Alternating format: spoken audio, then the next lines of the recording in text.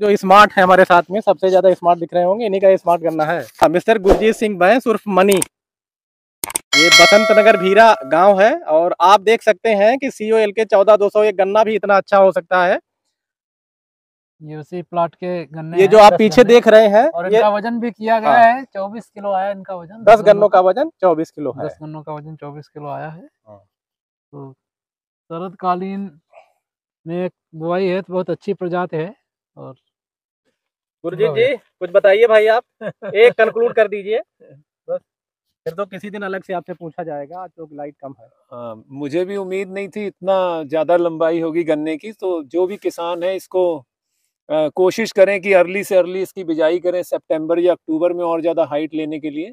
और मोटाई जो है इसकी बढ़ाई जा सकती थी जिसके लिए डिस्टेंस बोला गया कि और बढ़ाया जाए तो वो बढ़ाएँगे। आगे फर्दर और मेहनत की जाएगी। ये दस गन्नों का वज़न चौबीस 24 किलो है, जी।